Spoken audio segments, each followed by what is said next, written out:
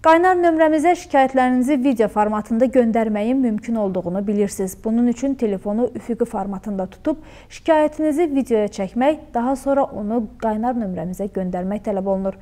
Şəki rayon sakini Müşfiq Məmmədov da belə edib. Onun şikayəti əsasında əməkdaşımız Könül Ərşadlı bir araşdırma aparıb, izləyək. Şəki rayonu aşağıda aşağı kəndində qaz olmadığına görə əhali çox əziyyət çəkir yaşlı, qoca insanlar var. Pensiya alanlar deyir 300 manat alırıq, eləyirik. Bir, o, bir maşın odunda 600-700-ə gəlir. İldə ən azı 6-7 3 maşın, 2 maşın odun işlənir. Bu da 1400-1600 manat eləyir. Əhalinin güc çatmır. Qaynar xəttimizə Şəki rayonu Aşağı Daşağıl kənd sakini Müşfiq Məmmədov tərəfindən göndərilən video görüntüdən də aydın olur ki, adı gedən ərazi maye qazla təmin olunmayıb. Qışı başa vurmaq üçün oduna möhtac olduqlarını bildirən şikayətçi bu sarıdan da çətinlik çəkdiklərini vurğulayır.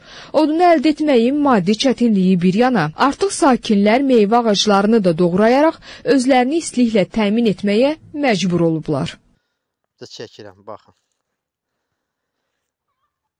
Oduna kənd cəmatının gücü çatmadığına görə meyvə ağaçlarını kəsirik.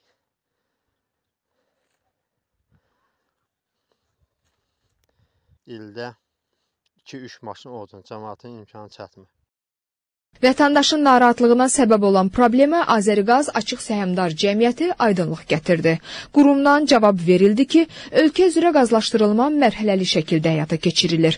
Növbəti ilin ikinci rübündə bu kəndin qazlaşdırılması həyata keçirilə bilər.